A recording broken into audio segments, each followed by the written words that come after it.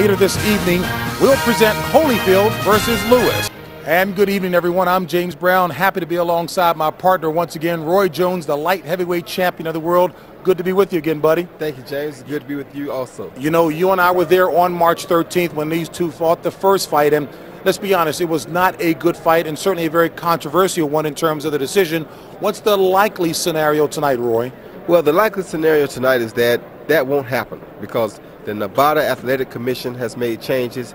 People have made changes. The fighters have made changes. And I think everybody wants to clean that up. Everybody wants to make up for the mistake that was made on March 13th. So I think tonight we're in for a much, much better night. And you've always called it like you see it. You expect the two fighters to give a better account to themselves as well? Uh, most definitely. Both fighters are coming in here tonight to prove that they were not exactly where they wanted to be on March 13th, but tonight they will be there. So I look for a much better effort from Evander Holyfield, and I look for a little bit better effort from Lennox Lewis also.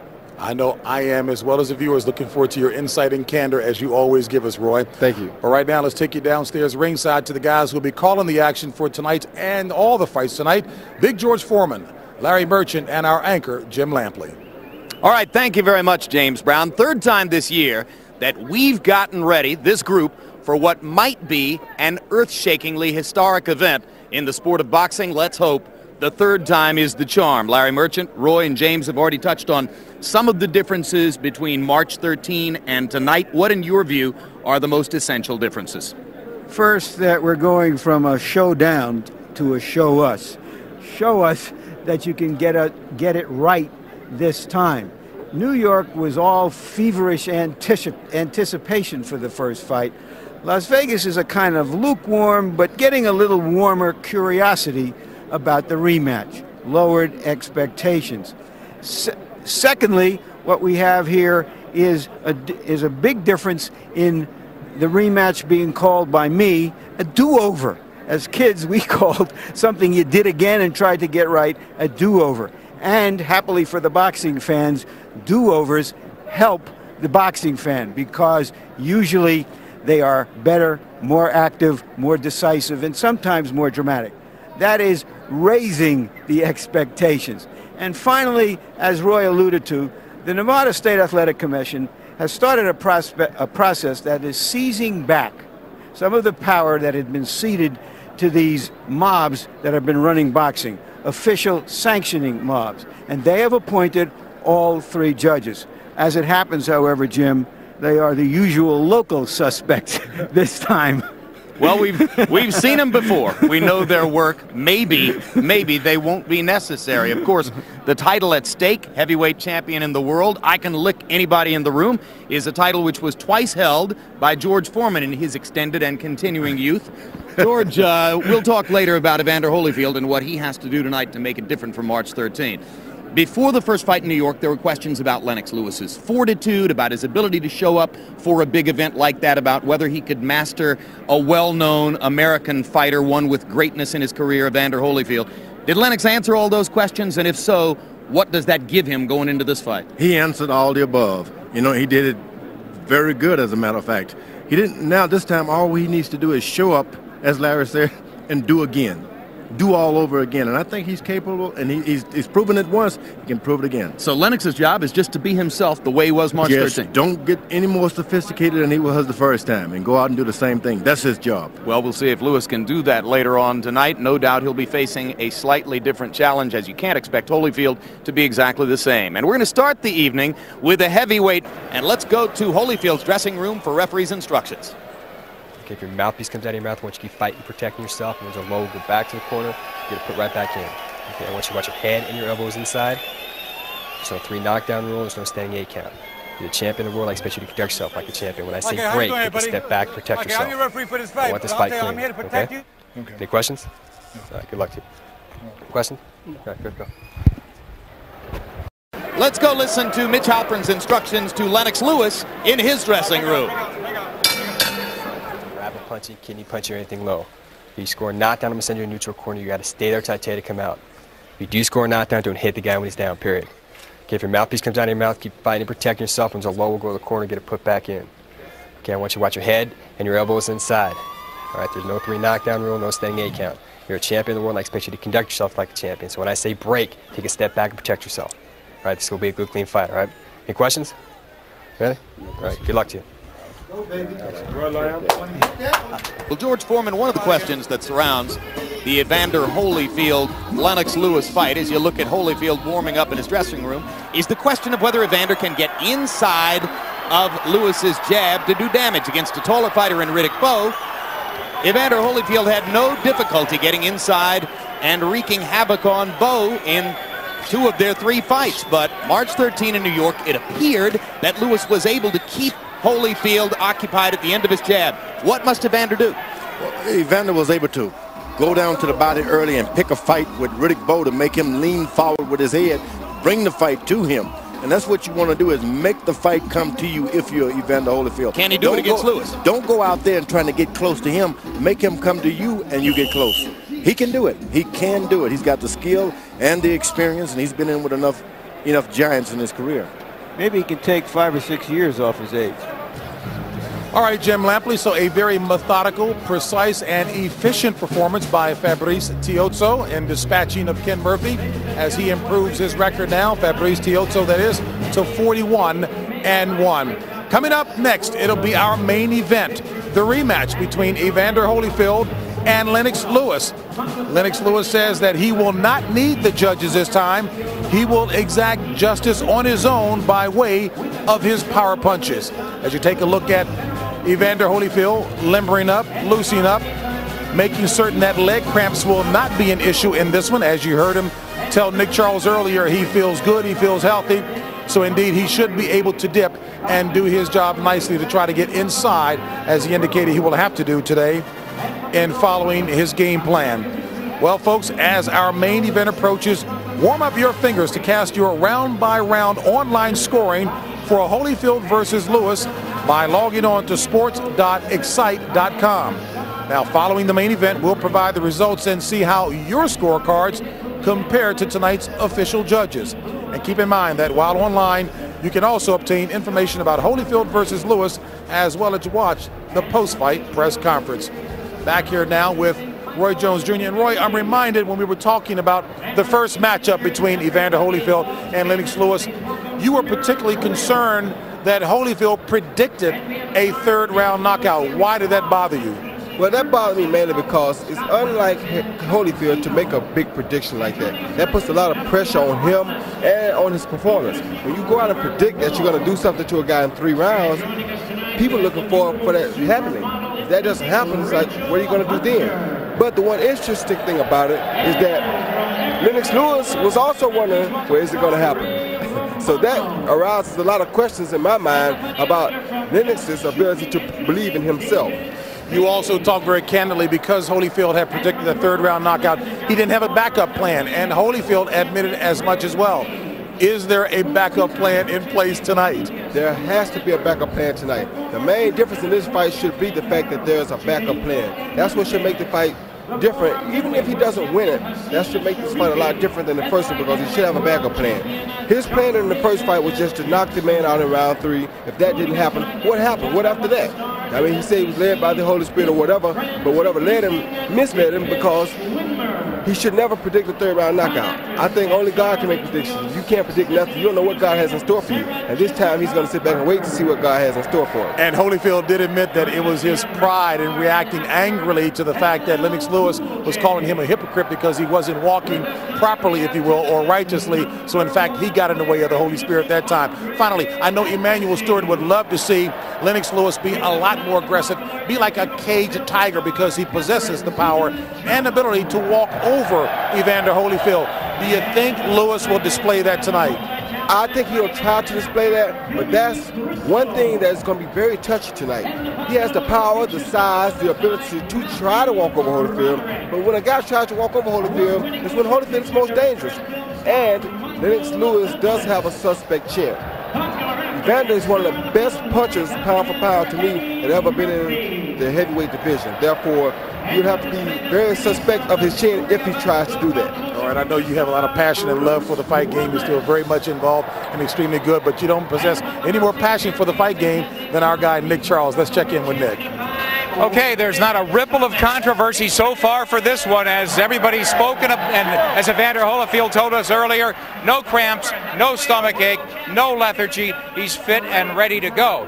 As for the cup that Lennox Lewis wore the first time, which the Holyfield camp thought was up to his breast and took away any body shot target for Holyfield. Mark Ratner, the executive director of the Nevada Athletic Commission, told me this one that Lewis is wearing tonight is, quote, a beautiful cup. It's conventional. It's actually, the waistband is below the belt, so no problem there. As for Lewis's camp's concern, though, about Evander Holyfield's headbutting in the past, Mitch Halpern, the referee, told me he is taking no preconceived notions into this ring with these two men. So they start, quote, with a clean slate.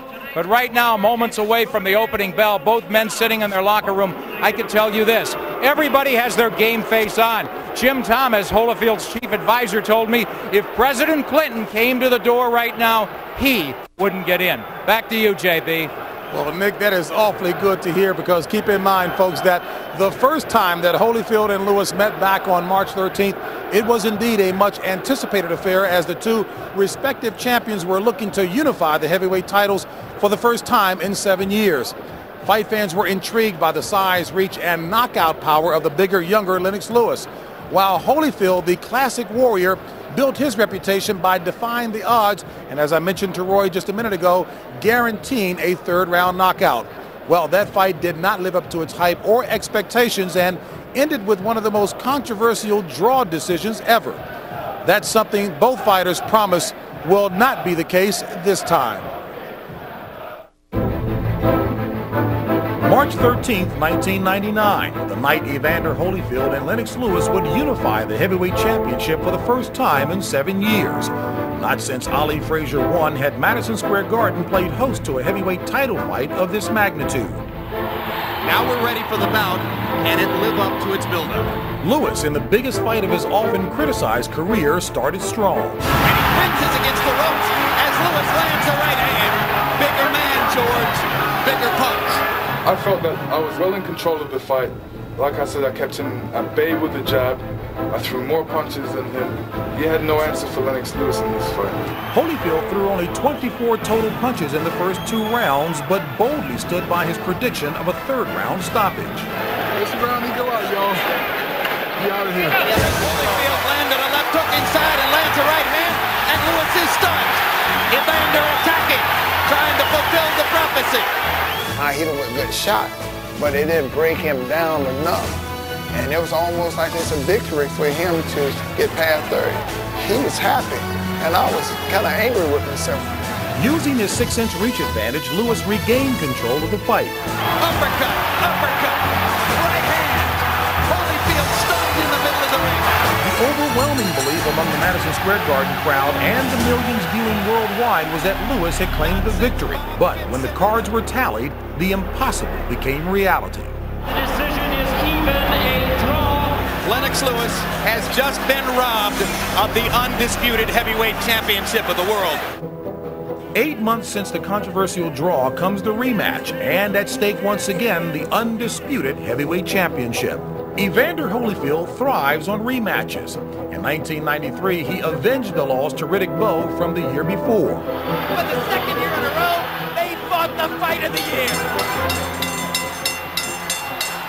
And two years ago, Holyfield floored then champion Michael Moorer four times as payback for the 1994 meeting won by Moorer. I want to win this fight because I learned from my mistakes and I'm willing to do what's necessary to be victorious in the fight. Lennox Lewis is looking for redemption. This rematch offers him a chance to earn the belts the judges denied him in their first fight. Lennox Lewis is going to be undisputed heavyweight champion of the world. I've been in the ring with him already, so I know what, what it takes to beat him. I know what I need to work on to beat him, and that's what I'm going to do. Both fighters have had plenty of time to contemplate March 13th and why tonight will bring a different result.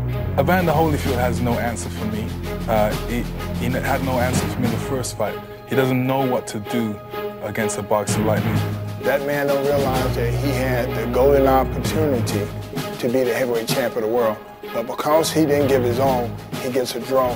Now he's complaining about they should have gave me We not in the business where they give you anything. It's where you take. With the undisputed heavyweight championship on the line, can Evander Holyfield yet again rise to the occasion when it matters the most? Or will Lennox Lewis, with his size and reach advantage, finally earn his due?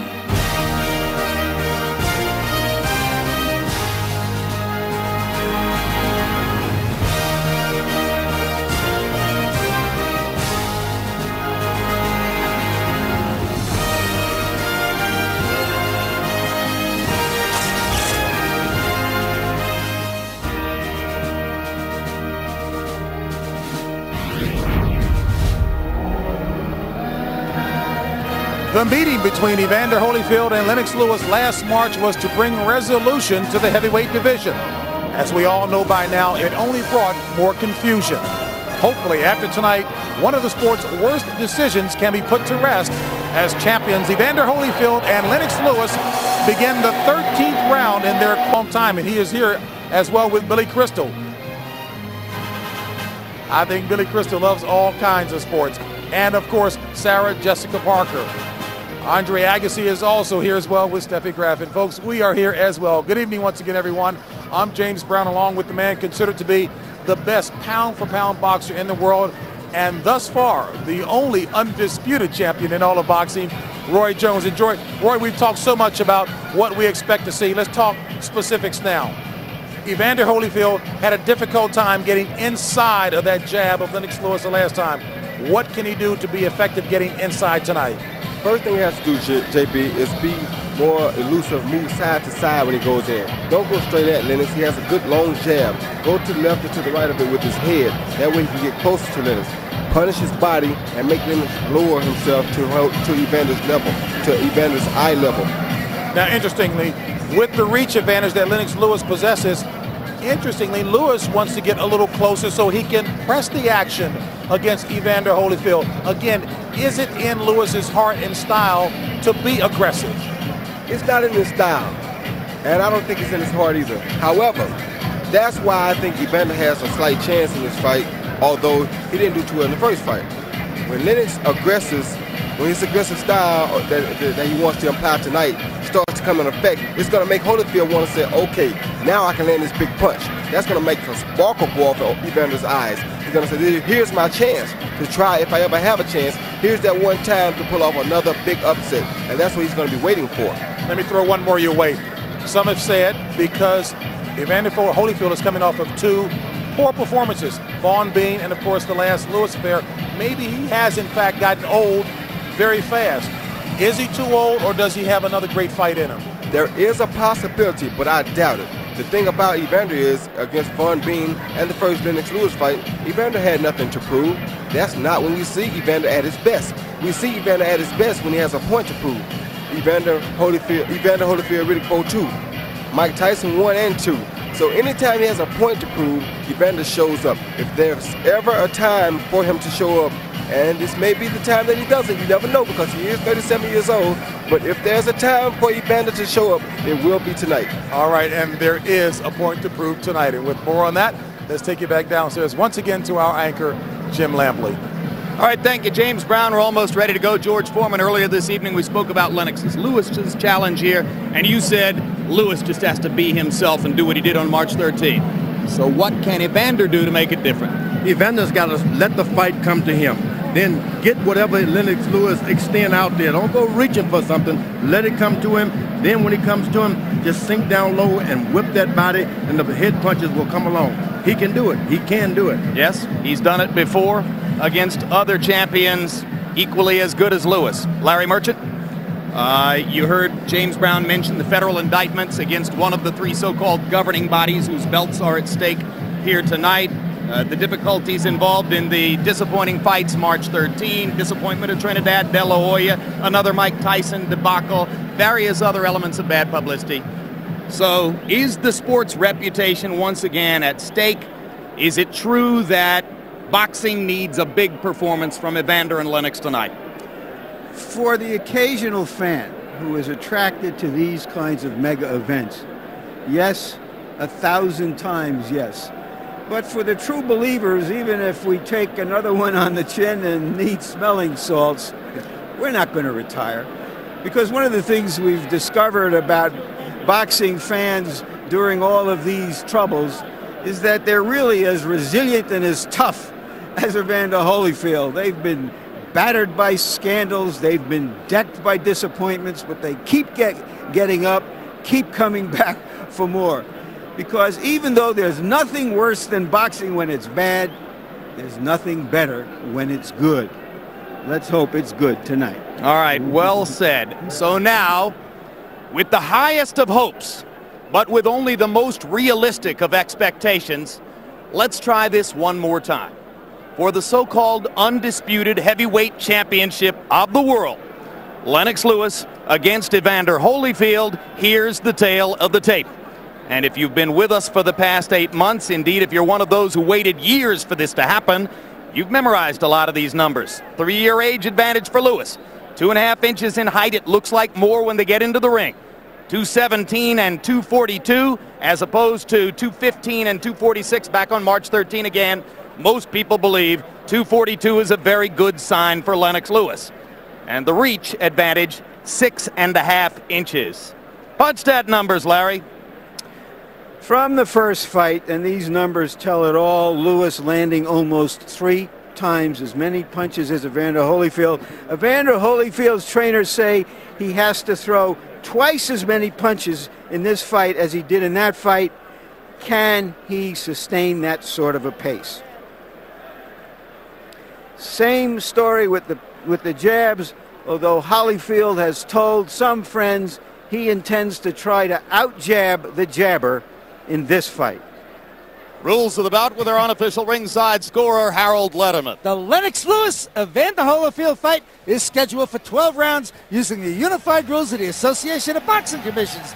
There is no standing eight count, no three knockdown rule. Only the referee can stop the fight, and you cannot be saved by the bell in any round, including the 12th and final round. Jim. All right, Harold Lederman.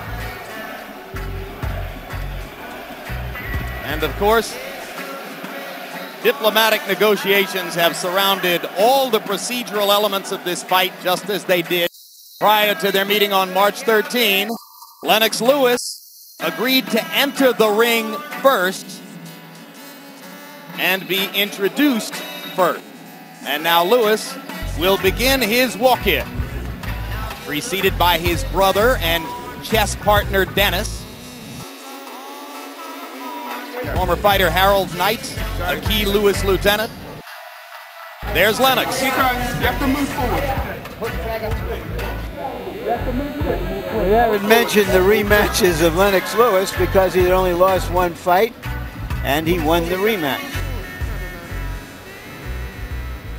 Unmemorable because the rematch was the bizarre affair in which Oliver McCall wept in the ring, walked around instead of trying to throw punches at Lewis and ultimately saw referee Mills Lane bring the sad affair to a close. Never received much recognition for his accomplishments in the U.S. Won a silver and a gold medal in Olympics. Lost one fight in 10 years as a professional. But a crowd displeasing style has worked against him in public recognition. If you look carefully at Lennox Lewis and you conclude that his face shows you nothing, then you are in good and populous company. He labors to project an image of unshakable calm and usually succeeds. There are some 6,500 British fans here. I find that extraordinary, amazing. 6,500 people flew over 5,000 miles to see this man fight and try to win all the heavyweight titles for the first time in this century for a Brit. And this despite the fact that through much of his career, he was at best the second most beloved heavyweight in Great Britain, overshadowed by the far less competent Frank Bruno. But there is the record for Lewis, 34 wins, the draw in New York, the one loss to Oliver McCall, later avenged, Twice he has won heavyweight titles.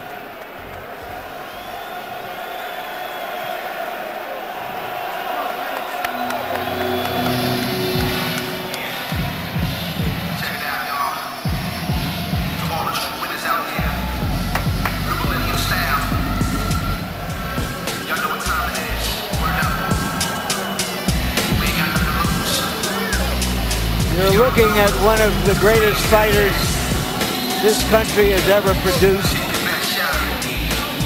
Great, great warrior.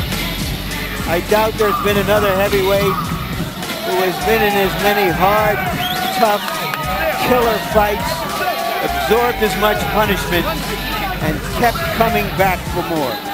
And the music with which Evander enters the ring is recorded under the label of his own record company, Real Deal Records.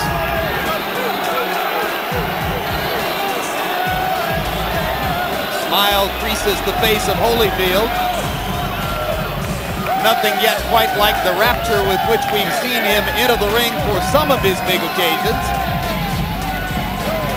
The question, of course, reverts to an old saying in boxing that a great fighter, great champion always has one more great fight in him. Has Evander Holyfield already had that and other one more great fights? Evander Holyfield's extraordinary boxing record 36 wins, 3 losses, 1 draw, 25 KOs. Two of the losses to Riddick Bowe, one to Michael Moorer, and of course the draw last March 13. Now let's go to ring announcer Jimmy Lennon Jr. to step it up one more level.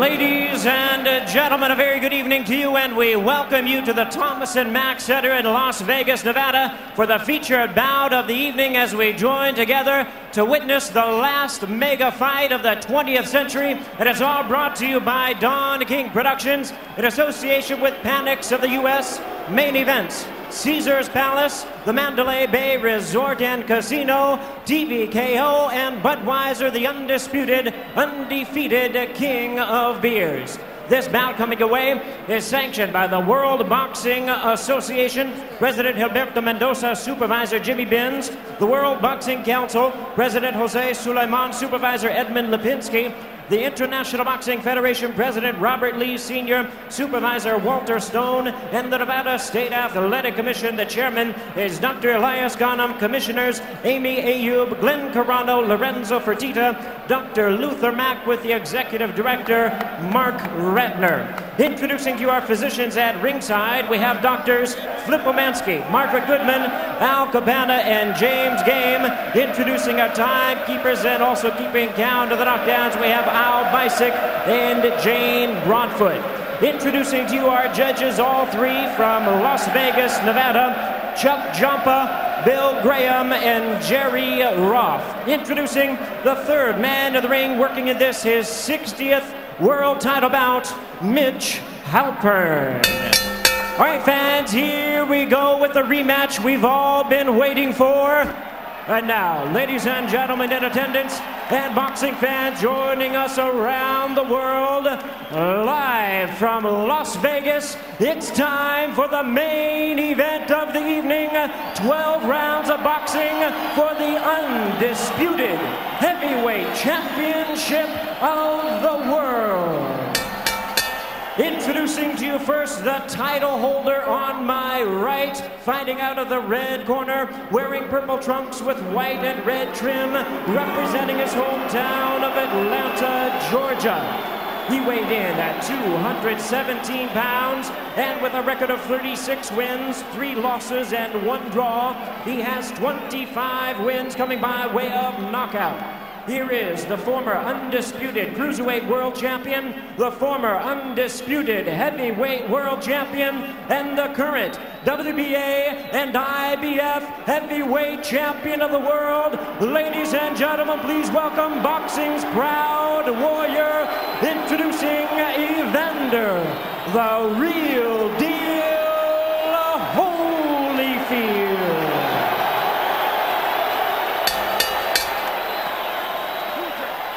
And opponent across the ring. The other title holder on my left, fighting out of the blue corner, wearing white trunks with red trim, the big man from London, England.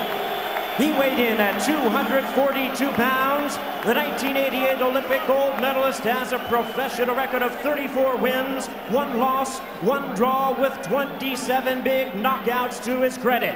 Tonight, attempting to become the first British heavyweight in 100 years to capture the undisputed title, here is the hard-hitting and current WBC heavyweight champion of the world, introducing Lennox Lewis.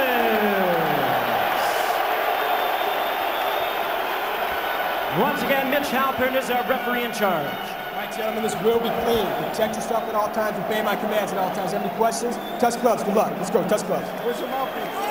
Are we about to see the sad death of a great king or yet another of his resurrections? It was a late arriving crowd, but the rafters are now packed. 19,000 plus in the Thomas and Mack Center. An audience around the world hoping and praying, as they did back in March, for a conclusive definition of the identity of the heavyweight champ.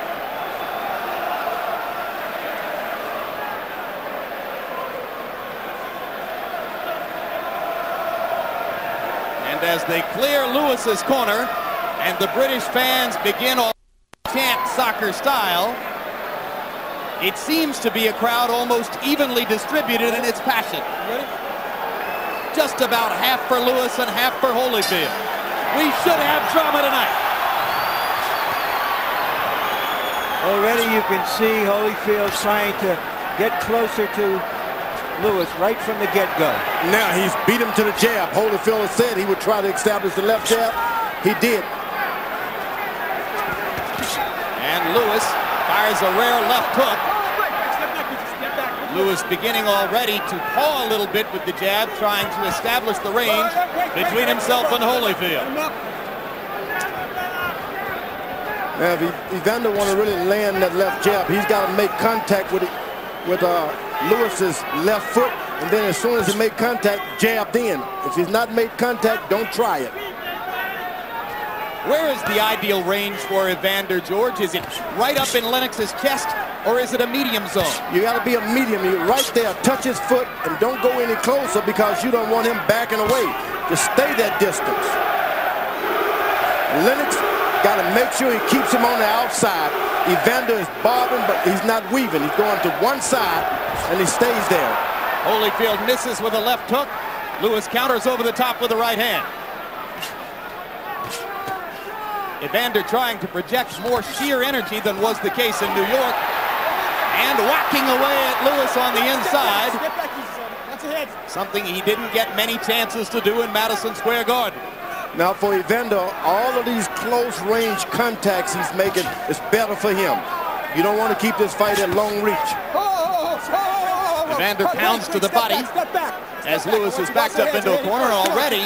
Halpern has had to work a lot harder in round one here than he did in 12 rounds of Trinidad De La Hoya. Break, break, break, break. Certainly Holyfield is working harder in this first round than he did in the last one. You know, he was able to get in one good left jab, and that gives him confidence. You can't start reaching at this point. You've got to let the fight come to you if you Evander Holyfield. And Holyfield reached with the right hand, and Lewis touched him up inside with a little right uppercut as the result. But already, Don Turner is yelling at Evander from his corner. He doesn't want to fight. Yelling at Evander to try to let him know that he thinks Lewis is timid and that Evander can take command. Evander did something very smart. He jabbed Lennox Lewis right in the chest. Right in the chest. And a double jab there by Holyfield. Off the round one results, you get the impression it's a better Holyfield already than was the case in New York.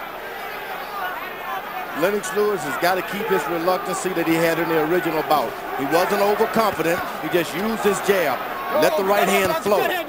Lewis trying to drop the right hand in on top of the left jab. Go home break. Step back easy. Holyfield easy, partially blocking it with the left glove.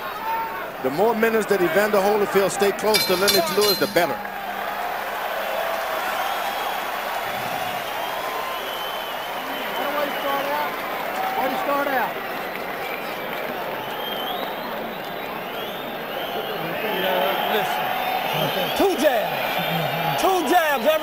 jab and two jab and throw that overhand right on him. He's leaning back. Don't go straight in. Always on that. Give him a little feint first. A little bit of water. Because he's wide open for underneath shots. Instead of trying to chop over top, touch him and starts trying to rip him underneath, of you, and you're tying him up perfect. Okay. Man, get that job going. Get the jab. his head is clean. Well, everybody, the whole crowd is into his head about tonight. So so when you got the whole crowd is into it. You got the mouthpiece? Mouthpiece. I got mouthpiece. Get that jab going, man. Get the jab going. Let him control it. Control it with the jab. Holyfield with the CompuBox edge in jabs in the first round, landing eight to Lewis's three. Lennox wasn't really snapping the jab as he did early in the fight in New York. Now he sticks it out there with a little bit more authority to start, start round number two. But Holyfield comes back, and you see Holyfield listening to Don Turner's instruction. Throw the jab twice when you throw it. Double up. Well, he wanted him to throw the jab twice because if he misses, Lewis is not able to hit him with a jab. So you throw two to make the big man back up. If you miss him, he'll at least back up. Hard punch Great, by go Lewis punch, stop punching, inside. Punching, let go, keep it clean. The question is whether Holyfield trying to come in is, is on a suicide mission or is he going to get to Lewis? Evander's reaching out, pawing already. That's what he shouldn't be doing. He should be throwing uppercuts to Lennox Lewis, elbows, uppercuts to his chest. And Lewis, who said he would be back to the conscious of Lewis, who said he would be conscious of trying to be aggressive and take advantage of knockout opportunities, is trying to load the right hand. Probably not a good idea for him. Well, he's like Larry said earlier. He threw a lot of good right hands in the first fight, but they were nothing that hit him square right, hit the Evander square in the middle of the face. Always on the side of the head. Step back. Step back. This fight, Lewis got to concentrate on going right down the middle with that right hand. Uppercut by Lewis as Evander jumps in with the jab. Lewis double jab. That's what you don't want at this part of the fight, is allowing Lewis to get confident with his left jab. You, if you're Holyfield, you mean? Yeah, if you're Holyfield, you don't want him to get confidence with that left jab. He's dropping his left hand, make him do it lower by hitting him in the body a time or two. Turner asked Holyfield to throw the overhand right. Evander hasn't released it. Lewis has released his right hand aggressively three times in this round.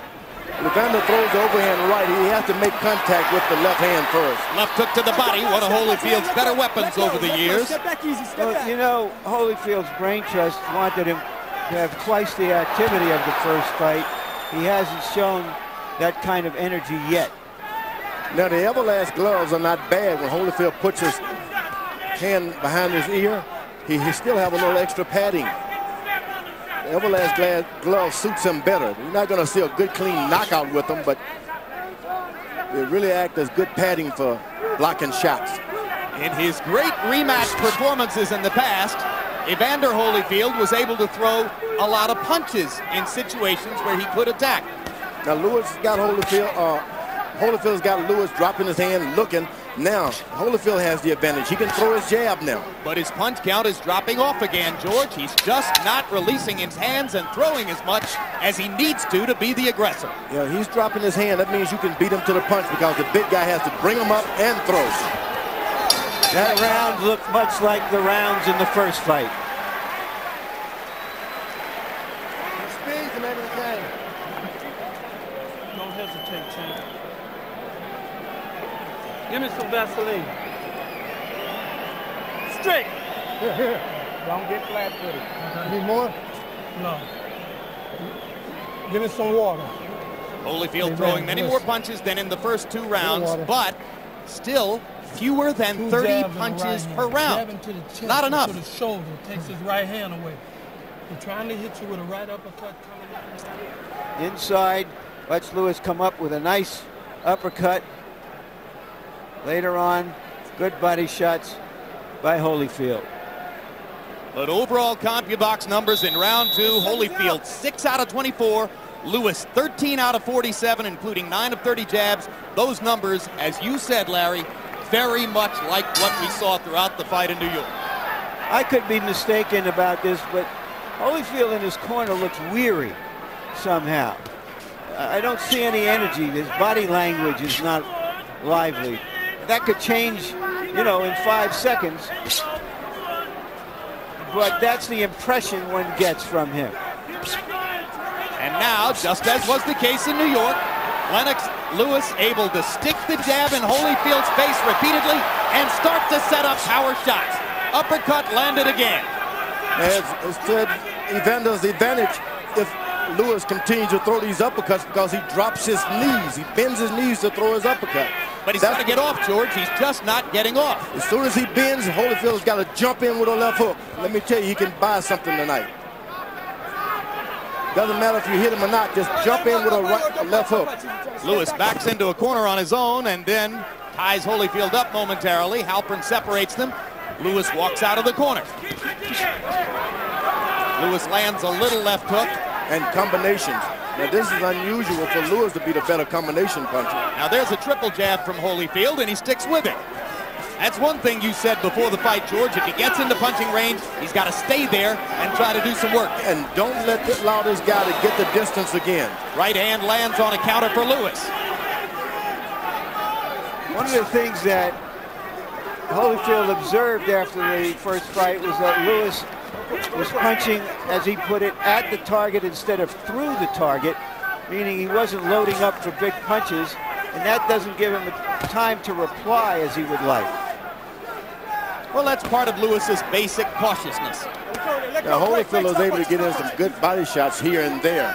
This fight goes into the seventh round. That can change things, too. Was able to jab Lennox Lewis in the chest. He didn't do that last time. So you're suggesting that you like a lot of what Evander's doing so I like far, a lot of what he's doing. He's invested in the body, even jab to the chest. I don't like him standing there getting those jabs, but he, when he's not in range, get all the way out of the range, which, which he should be doing. When you fought Holyfield, did you feel like he had effective head movement against your jab, George? Uh, it's long, long time ago. Yeah, that's right. Much has changed in the eight years since April 9, 1991. That's why I named all my boys George, so I wouldn't have to remember anything. Hard right hand by Holyfield. Cleanest punch of the bout so far. And Lewis is getting in the kind of fight that Holyfield can benefit by. Standing close, trying to hit him back for hitting you. Don't do that if you're Lewis. Break, break, step back. Out the head. Watch out the head. Go. Lewis is bending down. And Holyfield landed the left hook. down.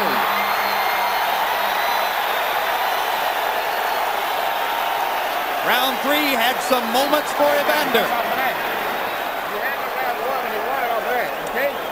But you got to just keep him back on your jab. You get lazy, don't let him get too close. Keep him back at the zone where you want to just relax. But you got to catch him with some shots from underneath here. Everything you're shooting is over top. Okay? You've got to get some shots from underneath. Get him back on the jab and keep him out there, but come with something underneath too, okay? You got to get some, get some respect. You got to take it to him a little bit. Okay?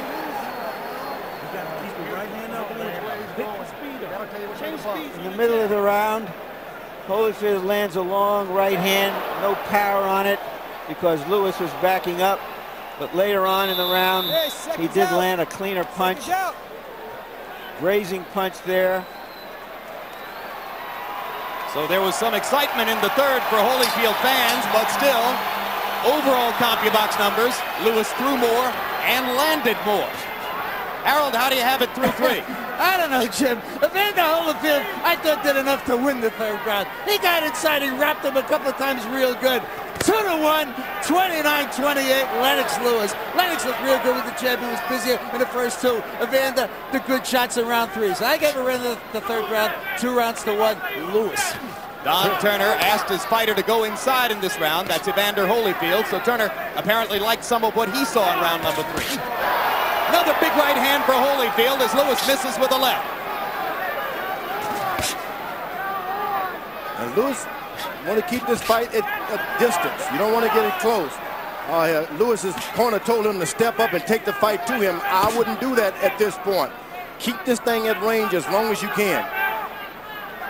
Oh, it's a man sport, George. Let them go in and bust each other a little bit. Yeah, but the bigger guy, he looks bigger, but he's not all that big inside. He's, he's a tall guy. When you see a good jab like that, that means that he doesn't like mixing it up. Now, you, you pointed out that Lennox was bending forward in the last round. Why would he do that? It was the first round that Holyfield made contact of equal range with him in height. Lewis started to bend down looking for that uppercut. I guess you go into training and you start thinking, I could, I could have knocked him out if I had done this. But forget about that. Go back to what you did. When Riddick Bowe, a taller man, leaned forward and agreed to exchange with Holyfield, Holyfield got chances to look good. In New York, Lennox Lewis simply wouldn't do that. Now, everything that every time Evander gets close, he has to dive in. That's why they clinch. He's jumping in because of the distance. He can't get it. And Lewis goes back to popping the jab in Holyfield's face.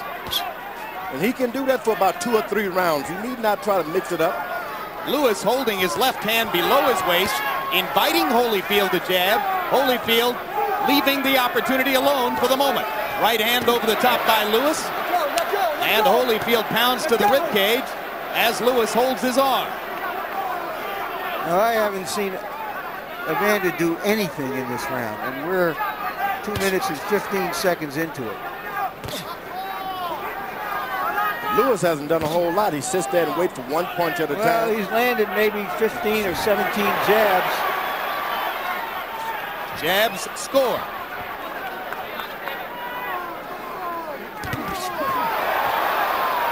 Evander lands a right. Lewis lands a little right in return. Lewis gets lazy and Evander Holyfield gets closer. And Evander again jabbing to the body, something he did not try to do in the first fight. Oh, I'm telling you, and it's paying off great dividends. Ooh, that right hand on the side of the head hurt. Kind of slid past Evander's ear, though. Yep. Four rounds in the books. A couple of them tough rounds to score. I know it's not, but it's out there. He do something big near the end of the round and excites the crowd. He's trying to steal okay, it. he's trying to steal around it. But what you got to do, you got to take some aggressive stuff at him with some big shots without going over the top. Yeah. We keep telling you, come in underneath on the shot first. Even a simple jab, jab, left uppercut, right hand would work. But come from underneath, you're doing everything over top. If you would really focus on your right hand and sit down and shoot the right hand straight, you could catch him with right hands. But you're trying to shoot your right hands too high.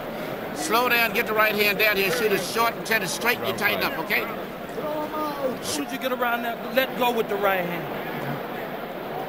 Stay in your rhythm now. Close your eyes and listen. Stay close. When you get in close. Don't go flat-footed now. Mouthpiece. Don't go flat-footed. Double jab, double jab, double jab. Once again in round four, Vander Holyfield only threw 30 punches. Lewis 49. But halfway through the between round period, you saw the graphic that indicated Lewis has landed half as many jabs in the first four rounds here as he did in New York. So Holyfield, though not doing much more statistically than in New York, is much more in the fight here early on. You know what? He good left hook. Solid left hook by Holyfield. And Holyfield grinning as Lewis lands a big right hand. Both fighters have landed a big power shot in this round. And Halpern telling Holyfield to watch his head as Lewis goes under and then over with the right hand and almost throws Holyfield over the top rope. Time! Come here, come here, come here. The bullshit in here stops now. This isn't a wrestling match, it's a boxing match. Just keep this clean. You understand me? You understand And there's me? a cut Go in this corner. Big along cut. the right side. Of Lewis's Of eye. He's not even aware of it. Eye, it's, it doesn't look dangerous, it- but you never know. More an abrasion than a cut, according to Flip Homansky, the doctor. Lewis wasn't aware of it. The blood does start to trickle outside his right eye as he goes back to the uppercut and busts Holyfield again. Lewis thinks he's got Holyfield going with these right hands. Hey, get back easy. Hey, come on, let's go.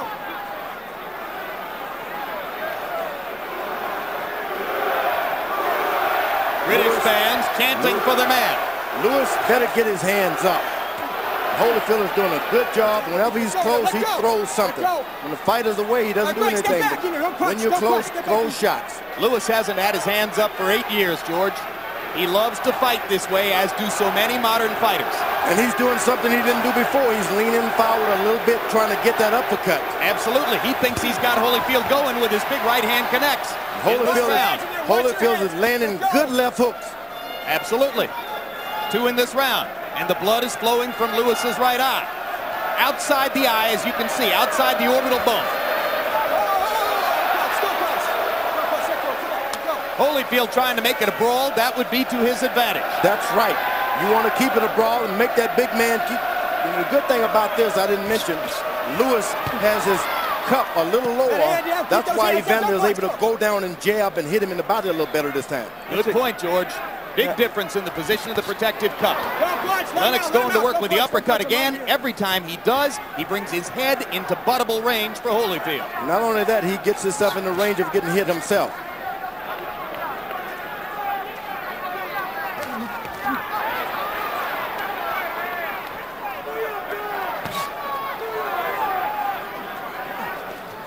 Well, despite the blood, so far it's been a big round for Lewis.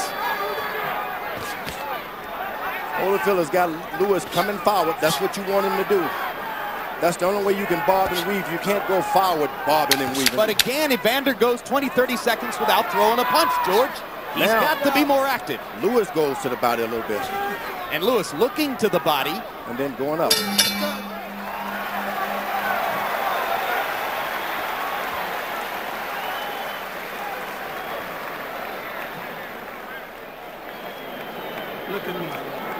All you got to do is get a little bit closer.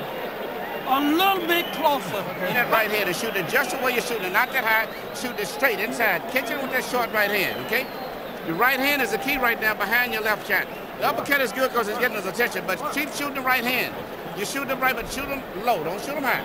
Just what you're doing, banging out is keep setting, setting them in. Shoot them real straight, real short. Cut is nothing. It's a good, good round for you. Lennox Lewis's cut man, Al Gavin out of New York, is as good as anybody in the sport. Larry? Leaping left. Right in here is where Holyfield and Lewis clashed heads. Lewis came out with a trickle of blood. Round six of a scheduled 12. Now that cut isn't so bad, but it sure does chink the, the, the what you call it, the shield of confidence well, it gives of a Lewis something to think about, yeah. right? And you don't want you don't want to be doing that when you go back to the corner. You want to think about how I'm going to get him the next round, not how blood is flowing. Holyfield has got his jab going better this time. Holyfield averaging exactly 30 punches per round through the first five. That's the same level of inactivity that hurt him in New York.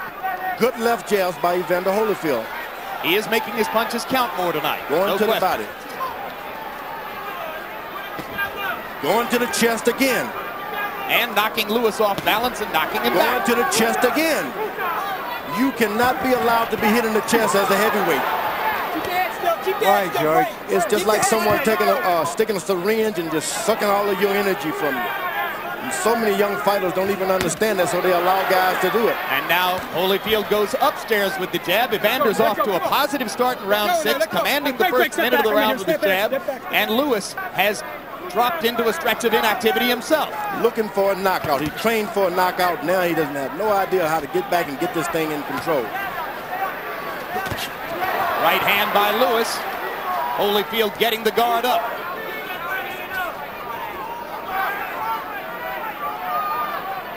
Oh, my goodness. Why did Lewis do that? Frustrated. And the Boo Birds come out in the crowd. They want to see more activity. Lewis thought all he would have to do is come out here, and it was all his for the taking. He had no idea he would have to fight for this title. That's what it's gotten to be. It's gotten so you fight. think Lennox Lewis was that totally complacent coming into this fight? Oh, no. He's, everybody told him, you won this fight. You should have knocked him out. And he forgot about it. He won it by good tactics. He had a good strategy going.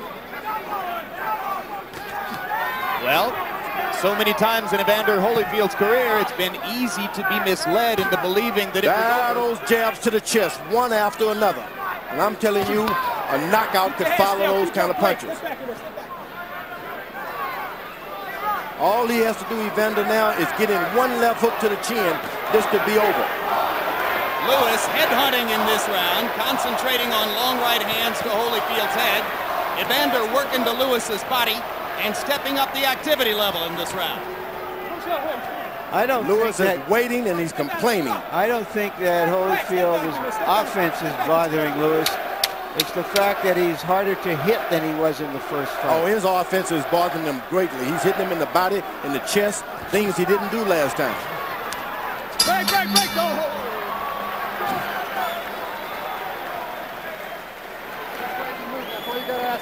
Do not get flat-footed. Beautiful work. Get in close. Keep your arms close. Close. That's why he got to reach around you to hold you. And when he reach around you, let go with a combination. And roll out. Then you hit him with the left hook. Holding on to too much shit. Let it go. And I keep shooting the damn right hand straight. Those short right hands, I don't care if they miss, keep shooting them. Even if they go over the top of his head, it's wearing him down to tying him because you're so big. But you just cut off completely. It's the same way you lost some other one and get your ass in trouble on the damn scorecard because you're not fighting. It's not that he's doing nothing. He's doing better than you. You're waiting too damn much. All right. Let the shots go. Right now. And back with the jab, too. Crazy moving and buff right or left and throw your foot. Stay off the ropes. Right now, Lewis says, let's see if it's right now. Round seven of a scheduled 12. Lewis played around and waited around too long, and he turned this thing into a fight.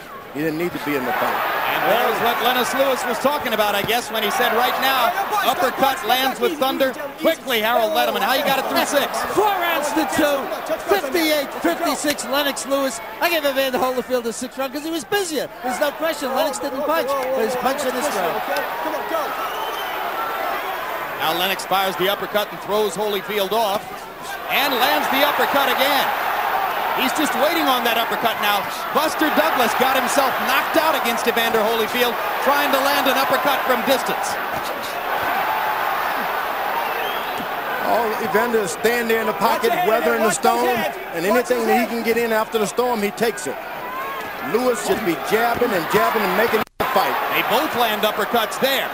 Holyfield with the right hand and Lewis with his own right hand. Look, they're at Big left end. hook by Holyfield. They're head to head now, head to head. Lewis is hurt. Now Lewis smiles as Holyfield comes in. Holyfield thinks he's got a target. It was a left hook inside that hurt Lewis. It was a big one. That left hook partially blocked by Lewis's right hand. Lennox leans against the ropes himself. Holyfield working the body.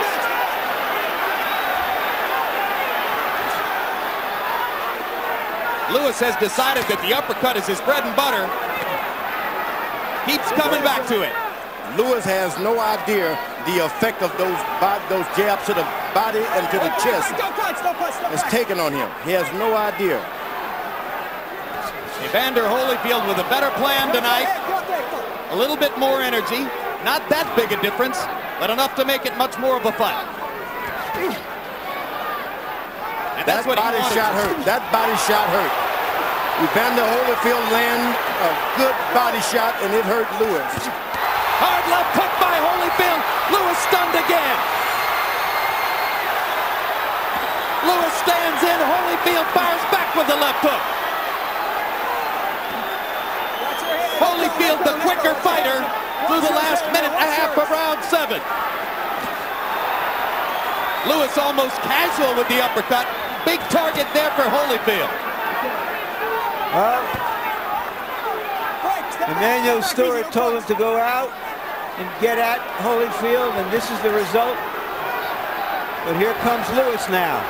Lewis rallying again. Combinations. Hard right hand by Holyfield. Lewis to the body. His own right hand lands flush. They trade shots at close range. Round seven, the best round these two fighters have fought against each other in two fights.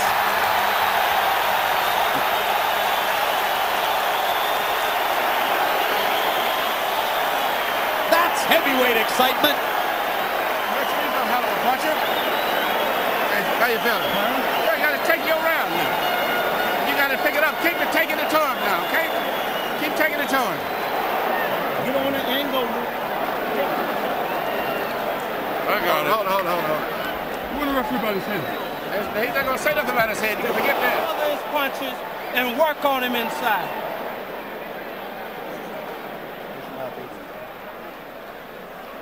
Early in the round, that left hook apparently discombobulated Lewis for a few seconds. He's holding on here. Later in the round, once again, Lewis coming back in the last 20 seconds of the round. And you heard Emanuel Steward still thinks that the best fight for Lewis is to engage Holyfield right in the middle of the ring. CompuBox numbers in round seven virtually even. Lewis 20 of 39, Holyfield 21 out of 45. Lederman, as you saw, gave the round to Holyfield, probably because of the big left hook shots. Right hand lands for Lewis. Holyfield much more engaged, looking much more confident than at any point in New York. Lewis obviously much more conscious of wanting to knock his man out tonight, and therefore creating opportunities for Evander. Lewis is looking strictly for a knockout. Evander Holyfield now, all he has to do is play off of that counter punch, pull it on home. Let's go. Every landed punch but one in round seven was a power shot. There's that left jab to the body by Holyfield again. Left hook upstairs now. Another left hook, and Lewis backs up and ducks, fires a right hand back, and goes to the body. Finally, Lewis begins to exercise the wisdom in trying to get to Holyfield's body and take some of the sap out of those punches. Lewis is totally leaning forward now. He is into trouble. If only Holyfield could just muster up a little energy to throw a couple hooks. This is the Lennox Lewis who fought Ray Mercer in Madison Square Garden. Tactically wrong, engaging in warfare, and trying to rise to the occasion against a fighter who likes to fight this way. He has made up his mind, Lewis has, that he's going to fight.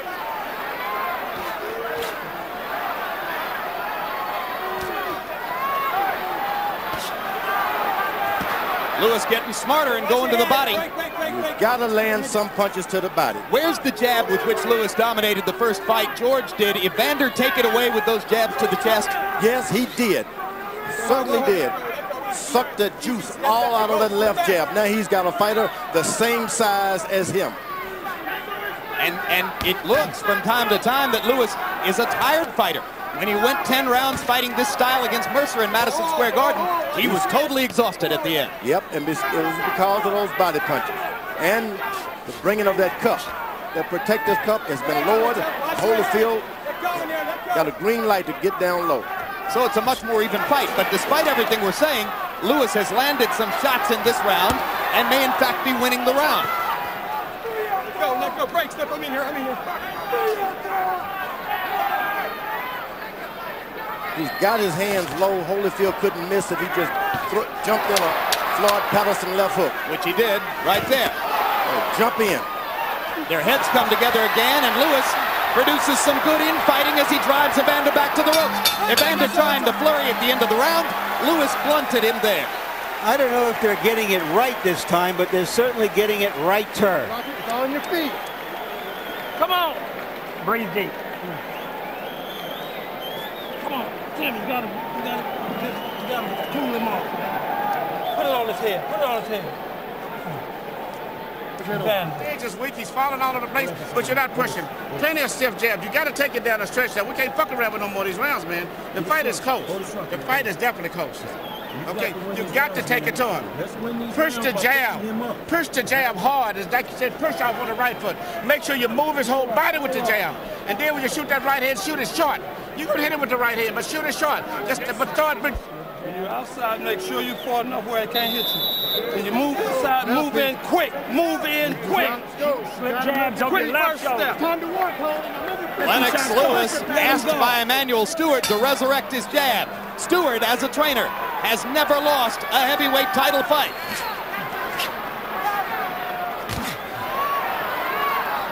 Lennox Lewis has never knocked an opponent out past the eighth round. Holyfield has, and he goes for one here. Holyfield was able to get in a double jab here, double jab there, make the guy wait for it, and then come over top with a right hand. That's he was able to do it great. That's the old boxing style. I like what Lewis is doing to Holyfield's body. He's equalizing the momentum somewhat with that body attack. Steward asking Lewis to try to set up a right hand with the jab. Lewis just seems to need too much room to get his jab let go, going. let go, break, break, step back. You should jab. Don't wait to get in distance. Lennox goes back to the uppercut. Evander whacks to the body again. No. Break, no punch. I'm in here, I'm here. Good. Holyfield's eyes are clear. Not so with Lewis. Holyfield looks like the fresher fighter. Lennox is still throwing more punches.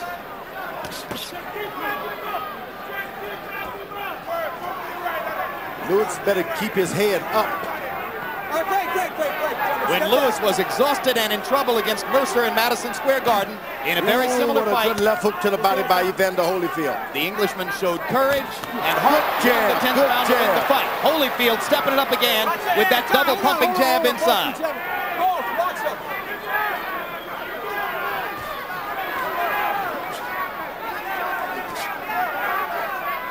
When Lewis jabs, is a different fight. But when he stands there and wait for a big punch, Evander takes over. Left hook to the body by Lewis. You don't see that very often. He's going to have to do a lot of that. It's not usually a weapon in his arsenal. Let go, let go, let go. Step back. I'm in here, I'm in here. Got to admit that Evander's been in with a lot of giants, and he's never backed down from a one. Well, Evander Holyfield won't back down from anybody. Uppercut lands for Lewis. Holyfield misses the left hook. Lewis lands the uppercut again. Holyfield might be hurt right here. Lewis, but will Lewis take advantage of it? Multiple punches for Lewis. Holyfield not throwing back. Fires the right and drives Lewis into the ropes. Lennox goes back to the body and the uppercut. Thrashing Holyfield with power shots.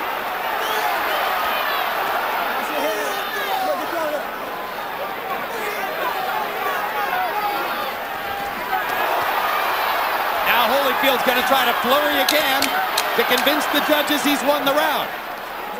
It's a smart professional thing to do. Holyfield is an excellent boxer.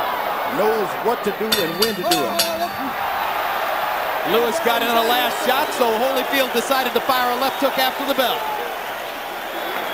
Cool him down, cool him down. Cool him down. Still on your head. Here you go. Hey, breathe deep, baby. You can't Rub his pull, low back. Rub his back with, with eyes. With eyes. you can't pull straight back. It's a jab this round here now. Use it. That was yours. You won that, but that uppercut over here is what pulled it out, really. But use your damn jab this round. He's tired. Make him have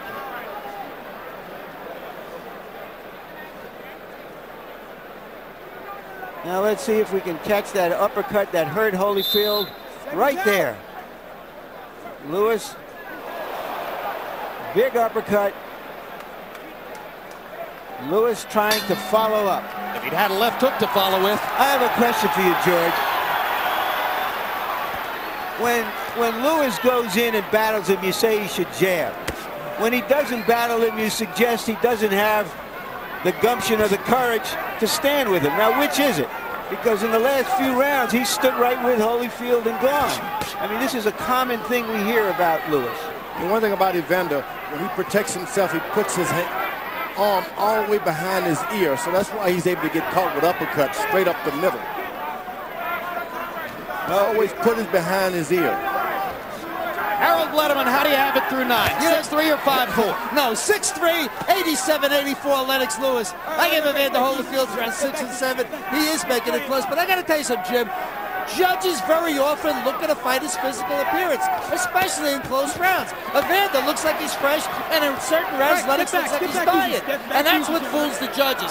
There's no question Lennox will land more punches and lose rounds because that mouth is wide open. It's an interesting point, Harold, because I observed before that that Holyfield looked weary on in the corner between rounds, and he does. But when he gets out here, he doesn't look weary, and that's where it counts. Well, that's an exercise of will.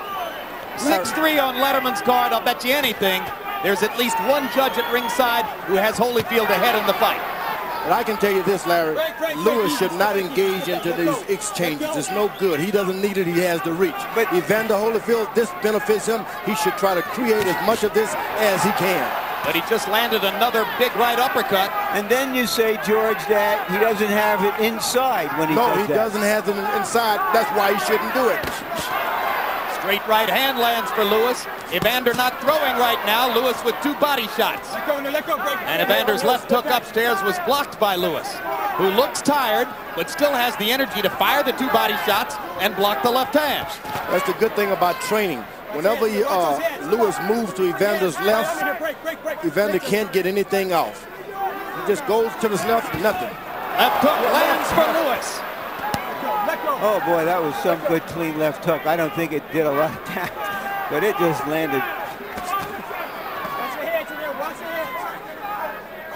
You know, earlier we've talked about the four pounds Lewis took off for this fight from the last fight, which indicates that he had trained hard. Well, he's going to need he's going to need that kind of conditioning to get through these last six minutes. Six minutes. He's moving to Evander's left, and and that's where it will pay off if if indeed that was an indication of his best conditioning. Evander Holyfield didn't throw many punches in this 10th round. Six minutes to go.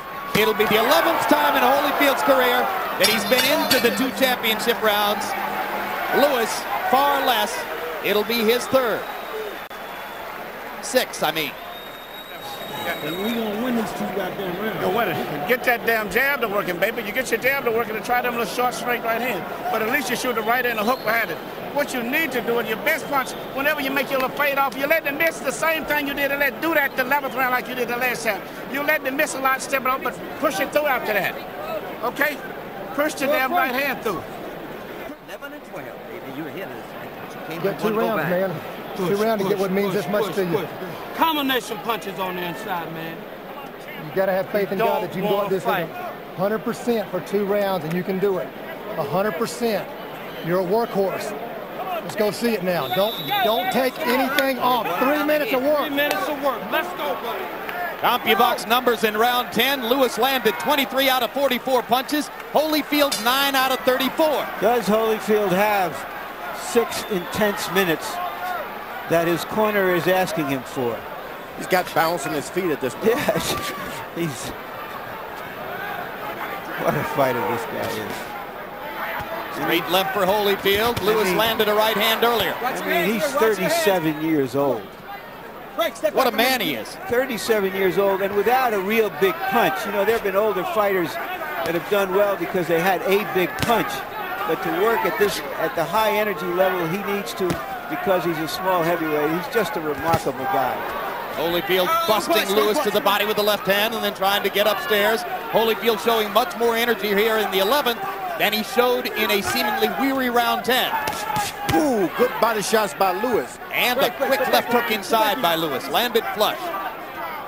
Holyfield takes a punch so well. When Lewis goes out and jab and steps around, he has this fight won. Whenever he takes it, uh, his trainer's advice, getting in there, that's when things turn around. All right, break, step back. Watch your head, watch your head, watch your step back. Let go. Hey, step break, step back. Let's go.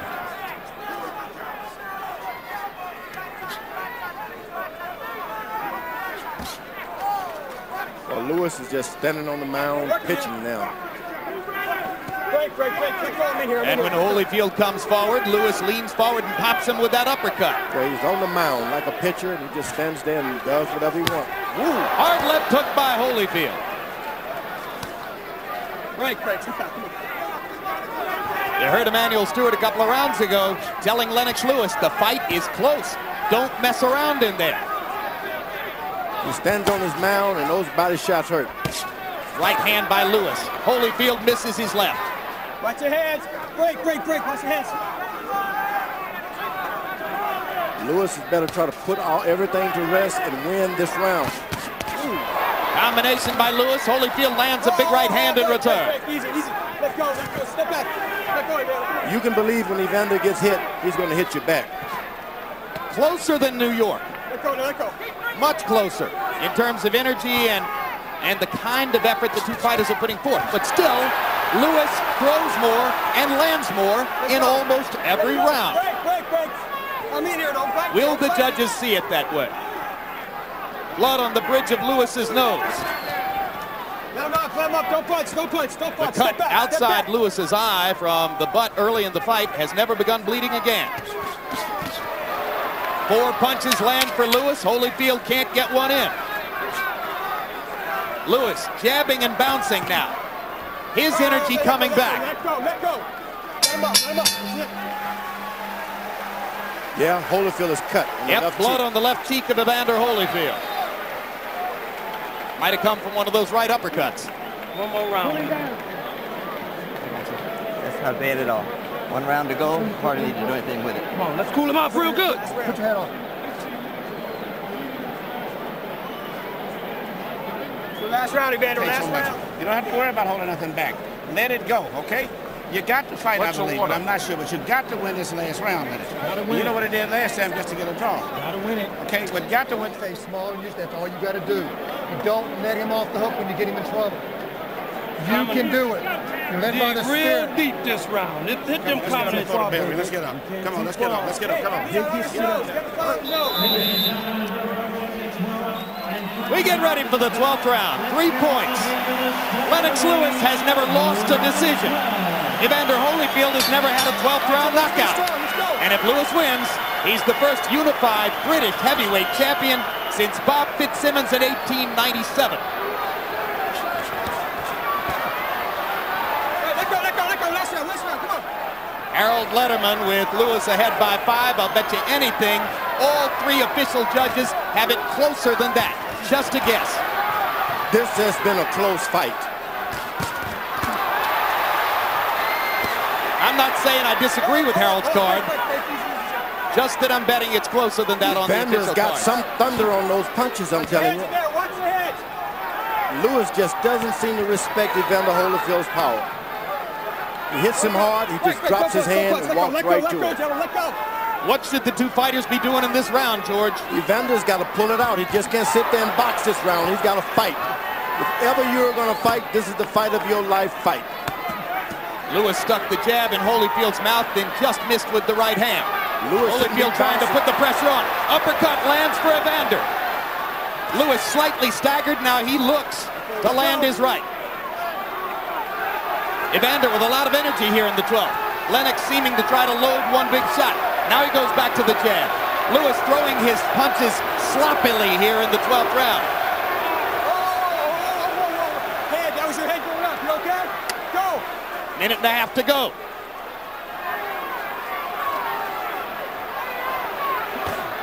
Uppercut lands for Lewis. Oh, Crowd trying to chant Holyfield into yet another of his dramatic career moments. Holy, holy, holy, they chant.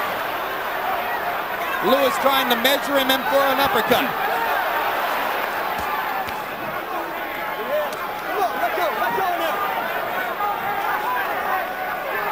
Lewis is better fight.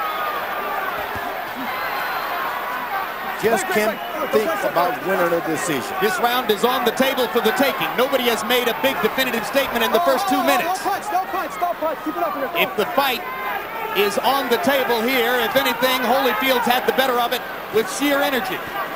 Lewis corner told him, don't hold anything back. He might not have anything to hold back. Yeah, you always got something you wish you had done in the hotel room. Two body shots by Holyfield. He sticks in a little uppercut. Lewis, in trying to land the one big shot, hasn't thrown enough punches in the 12th. Lewis is holding on. Right hand lands for Lewis. Hits and he ties Holyfield up inside. Lewis may think that he's won the fight and needs only to survive. We're going to find out in five more seconds of fighting. They fought a lot better fight this time, and the fans appreciate it. I had Lewis winning the fight. Much better fight. Holyfield fought better. I thought Lewis won it. You, George? It was a close fight. And when you're in a close fight like that, you just got to wait for the judges. Well, we already know who Harold Lederman thinks has won the fight. We'll get a look at his final scorecard in a few moments. In round 12, Holyfield landed 13 out of 46. Lewis landed 14 out of 35. So Evander was throwing more punches, and in the first minute of the round, he landed that right hand shot and that left hook. And then later on in the round, a Holyfield uppercut landed flush. So even though the punch stat numbers were fairly even, and here's Tim Hallmark, Holyfield's longtime physical trainer, praying, praying in Holyfield's corner during the course of that 12th round. You just hope the judges are not swayed by what happened in the, the previous fight. Just score this fight the way it was tonight and the way it is tonight and forget about the past. Do you have a winner in your head, George? Yeah, this, it's a close fight this time. When a close fight, I'll go for either guy. But Holyfield did a lot better. And if he had not had the stigma of that last fight, I think there wouldn't be any question that he could have pulled this off. You think Holyfield might have won the fight, George? If if had not been for the original thing, you see. A lot of people think that the way the first thing went would, would redound to Holyfield's advantage. Harold, how did you score it? well, Jim, after seven, it was a close fight. Four rounds to three. But eight, nine, ten, eleven belonged to Lennox Lewis. He landed the punches. He threw the shots. Better clean the punches at 8, 9, 10, 11. Evander pulls out the 12. Eight rounds to four. 116, 112, Lennox Lewis. All right, let's find out who really won it from Jimmy Lennon Jr. Ladies and gentlemen, Tonight, boxing crowns an undisputed heavyweight champion. As after 12 rounds of action, we go to the scorecards with a unanimous decision. Here are the score totals. Judge at ringside, Jerry Roth scores at 115 to 113. Judge Chuck Giampa scores at 116 to 112. Judge at ringside, Bill Graham sees it 117 to 111. All three in favor of the winner and the undisputed heavyweight champion of the world, Lennox Lewis.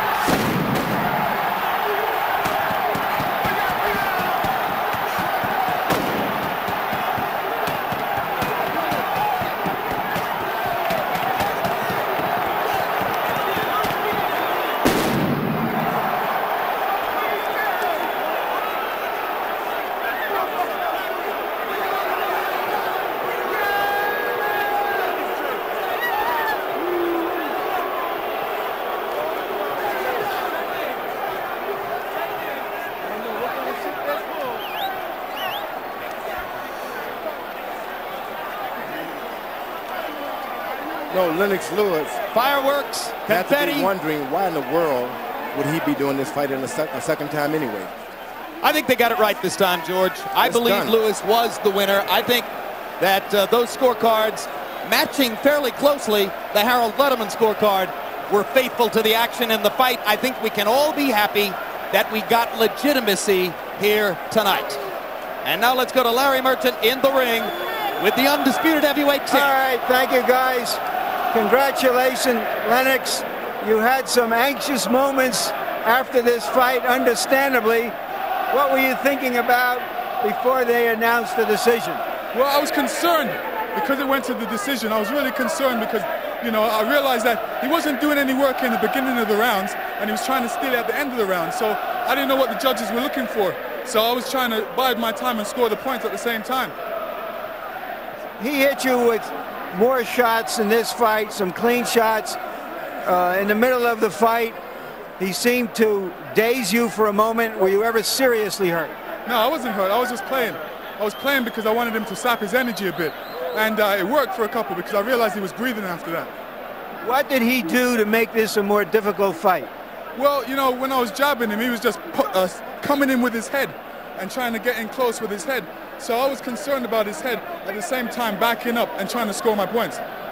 So you were not able to control the fight with your jab as you did last time because he jabbed more, because he came inside more, and so you had to engage him uh, in more exchanges in this fight? Yeah, when I was exchanging with him, he was keeping his head low and he was coming in straight with his head straight. So it was hard for me to engage some shots. Uh, at, at sometimes I would just move him to the side and throw off a combination. I was trying to catch him with the jab as he was coming in. As we're standing here, 6,500 British fans traveled 5,000 miles to witness this moment. What are you thinking about? I'm thinking I've, I've got to go on with all the belts, for real.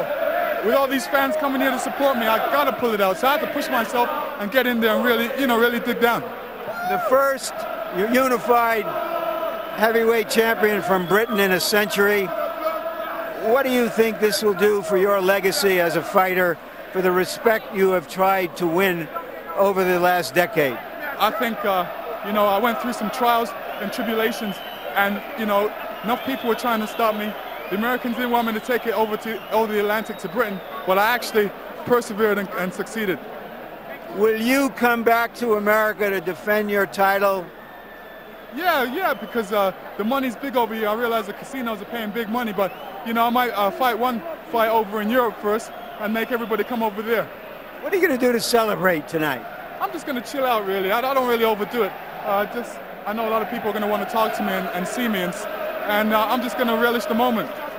Thank you very much. We relish this fight. Yes, big up Pirate FM, our crew. Big up. Yes. Jim. All right, Larry Merchant, part of the controversy after the first fight in New York was fueled by CompuBox numbers. So let's take a look at a statistical profile of this fight, not the be-all and end-all, because CompuBox can't measure how hard the punches are. But here are the numbers. Total punches. Holyfield landing similar numbers to those in New York, only a little bit higher in both categories, 137 out of 416. Lewis, not quite as good as in New York, but still with an edge over Holyfield. Jabs. Lewis's jab not nearly as apparent in this fight. Holyfield's jab much more apparent, particularly those which he threw to the body. And then we look at power punches, which doesn't mean they were bombs. It means that they were hooks, crosses, uppercuts, anything other than jabs. And Lewis with the edge there and a big edge in connect percentage over Holyfield. That in the end is probably what won him the fight. Let's go back to Larry Merchant. All right, again, thank you, Jim. Evander, in those moments waiting for the decision after what happened in March, what were your thoughts at that time? Had you did you think you had won the fight, or did you just not know how the decision was going to go? Well, you know, the fact is, you know, I don't, I don't you know, I, first of all, I want to thank the Lord, and uh, you know, He's good, His mercy. Lord give victory, and you know, man give decision, but we have to live with Him. But uh, in the front of the decision stuff, you know, I did all that I, I did all that I could. You know, I wasn't judging the fight. You know, you know, like I said, you know, you know, my words don't twist. When things fall into the hands of the judges, you know, the the judge make a decision to who they want to get. What do you believe in your heart and your head about the decision? Well, you know, it's it's hard it's hard to say. You know, the, fact, is that you know I go in there and I, I don't deserve the fight. You know, I do all that I can while I'm there. How did you make this a more competitive fight than the last one in the eyes of many of us? Well, well, you know, the fact is that, you know, I was able to take away the jab. I didn't get hurt by the jab.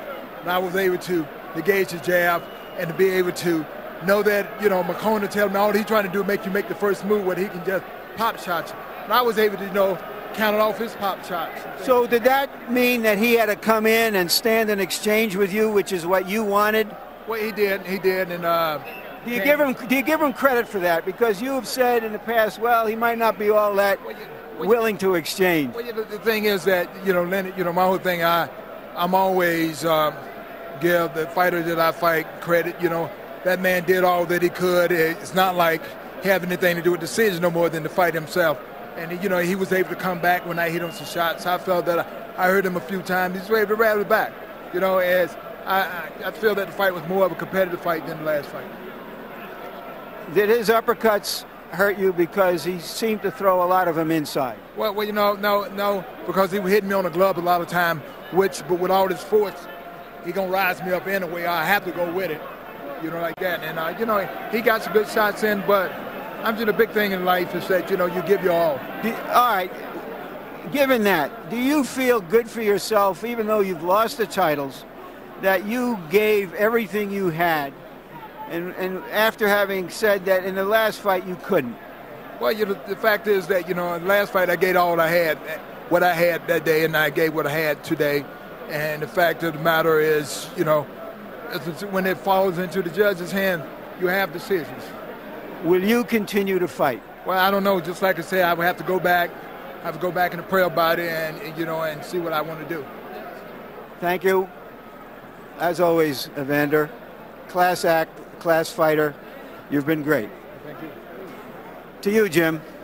Well, they promised better judging here in Nevada, and we got it. Unanimous decision from three top veteran judges 115, 113, 117, 11, 115, 113. Those scores pretty much in line, slightly closer in two instances, but pretty much in line with Harold Lederman's scorecard. Here's the great irony. In New York, Evander Holyfield got his draw by winning rounds 8, 9, 10, and 11 on all three scorecards. Lennox Lewis won this fight tonight by dominating rounds 8, 9, 10, and 11. George Foreman, there are a couple of obvious